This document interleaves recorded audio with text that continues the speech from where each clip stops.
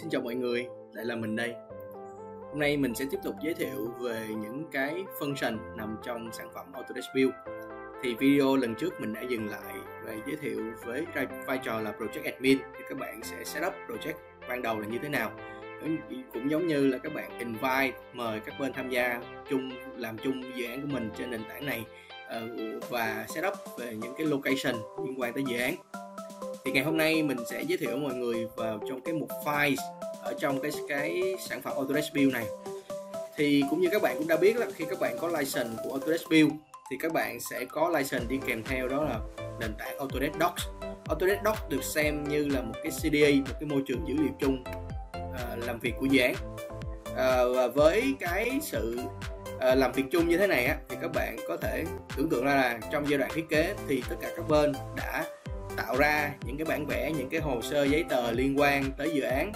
Và sau đó mình sẽ là người được tiếp tục tham gia vào trong cái nền tảng CD chung này qua cái sản phẩm Autodesk Build.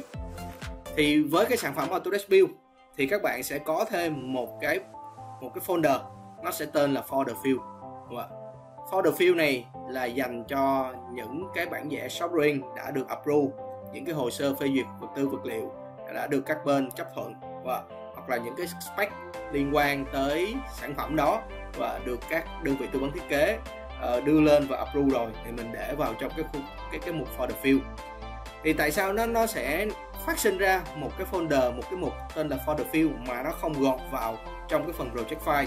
Và thì với với cái lý do đó là cái phần Autodesk Build á nó sẽ kết nối với lại cái nền tảng những cái nền tảng mo, mobile app mobile app thì nó còn gọi là Blended View thì sau này mình sẽ có một video giới thiệu về cái nền tảng này cho cho các bạn.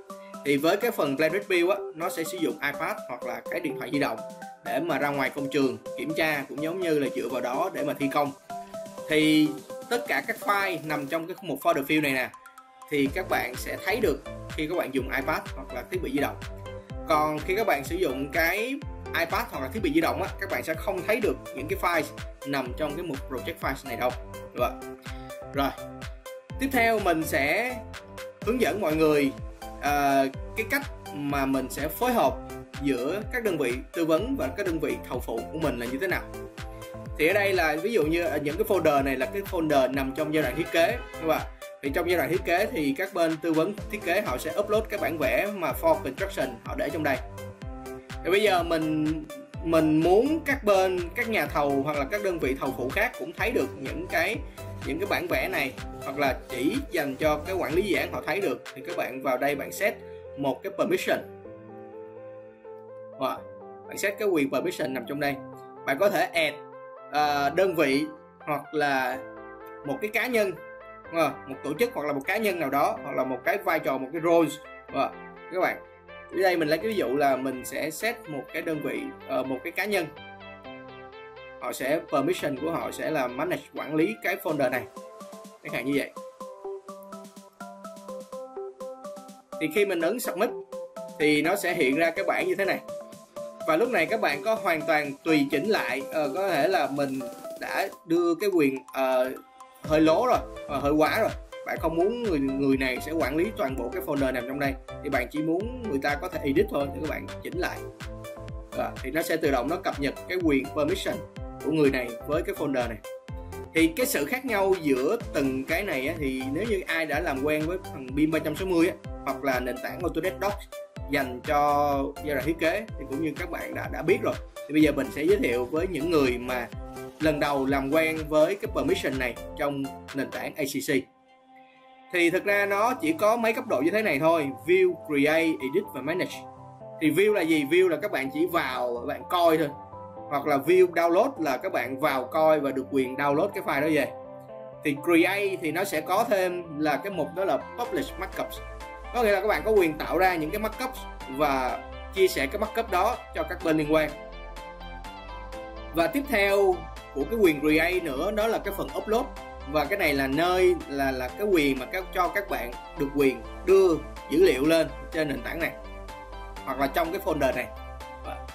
Thì tiếp theo đó là cái phần edit. Uh, edit này thì các bạn ngoài những cái quyền trên đúng không? thì các bạn thêm được cái quyền đó là edit. Có thể các bạn rename cái file hoặc là tạo thêm những cái cái thư mục con ở trong đó.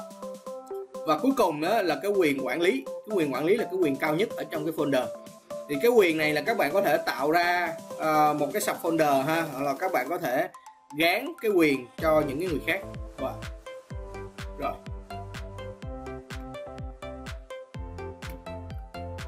Mình có thể tạo thêm các folder tùy tùy chỉnh của mình ha các bạn có thể ngoài ra các bạn những cái thấy như này, giống như trong giai đoạn thi công thì các bạn kết hợp với các đơn vị thầu phụ để tạo ra mô hình Revit trong giai đoạn tạo ra những cái mô hình combine á. Và các bạn tạo ra một cái whip construction như thế này. Thì nó cũng sẽ, cấu trúc nó cũng sẽ tương tự như là cái phần whip nằm trong giai đoạn thiết kế. Rồi cái phần shop drawing thì cái đơn vị nhà thầu họ sẽ upload các phần shop drawing lên trên cái cái hệ thống này và nếu như cái phần shop drawing này đã được approve thì các bạn có thể chuyển nó lên trên thành cái phần folder field này.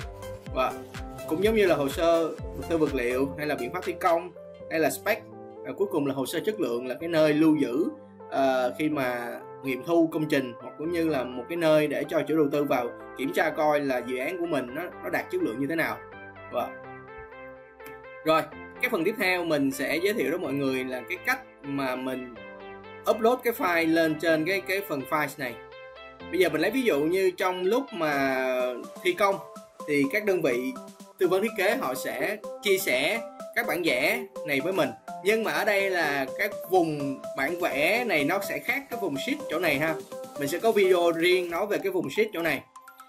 À, thì ở đây là cái nơi mà các đơn vị tư vấn thiết kế họ sẽ upload bản vẽ lên trên nền tảng này. Thì với cái mà kết nối với lại cái desktop connector á.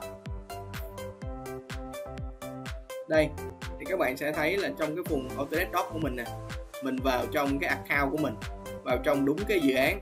Thì ở đây nó sẽ, cái cách tổ chức file nó sẽ y như là cái cách nằm trên cái nền tảng web của mình. Ở cái file mà mình upload lên trên nền tảng này, lên trên cái web á, nó sẽ tự động nó sẽ synchronize với lại cái desktop connector của mình như thế này file nào up lên đây thì nó sẽ có trong cái desktop connector. Rồi, tiếp theo đó là các bạn muốn upload một cái file lên thì các bạn kéo thả hoặc là upload file lên chỗ này. Và bây giờ mình lấy ví dụ mình sẽ kéo thả một cái file lên trên cái phần files này. Các bạn có thể ấn xuống trong lúc chờ đợi cái file được up lên và thì khi cái file được up lên thì các bạn toàn quyền được thay đổi rename hoặc là cái này là, là mình đang lấy à, sample mình lấy ví dụ thôi ha. Còn trong trường hợp mà dự án thực tế thì cái file này phải được thay đổi tên tại vì cái này là bản vẽ mà. Phải được đổi, đổi tên đúng thông tin chính xác thì nó sẽ được up lên trên nền tảng này. Thì khi các bạn up lên á các bạn có quyền tạo ra những cái attribute attribute là gì? Attribute là chính là cái thuộc tính đúng không ạ? Thì ngoài những cái thuộc tính này ra các bạn có thể tạo thêm những cái thuộc tính khác tùy vào uh, yêu cầu của dự án hoặc là cái uh, quy định của dự án đó và thì trong trường hợp này mình đã tạo ra một cái attribute tên là organization và organization mình mình là là cái cái đơn vị mà upload cái file này lên và thì bây giờ trong trường hợp này cái đơn vị upload file này là ai thì mình sẽ ấn vào đây. Sorry.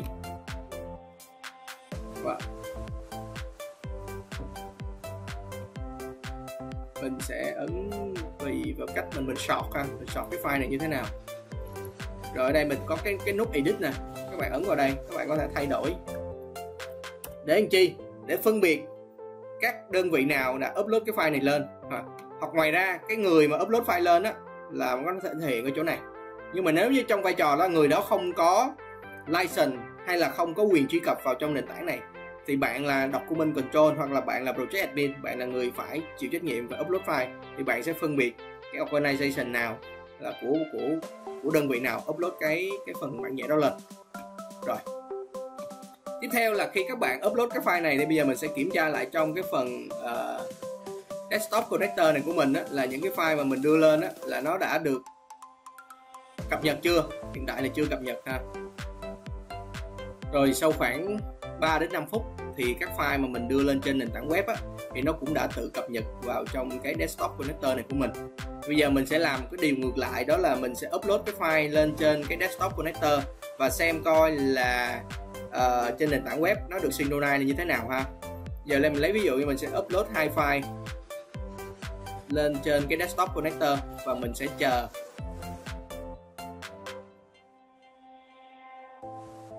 lên trên desktop connector và mình sẽ chờ coi nó synchronize với lại cái nền tảng web như thế nào ha. Bây giờ mình ở đây ok các bạn thấy không ạ? Nó sẽ tự động nó synchronize với lại cái nền tảng web của mình. Và việc này nó sẽ giúp các bạn uh, kết nối dữ liệu giữa nền tảng web và ở trên cái desktop của mình rất là tiện rồi video ngày hôm nay mình xin khép lại uh, tại đây. Uh, video tiếp theo mình sẽ hướng dẫn mọi người cái cách mà trên cái phần sheet là như thế nào. Và hẹn gặp lại mọi người.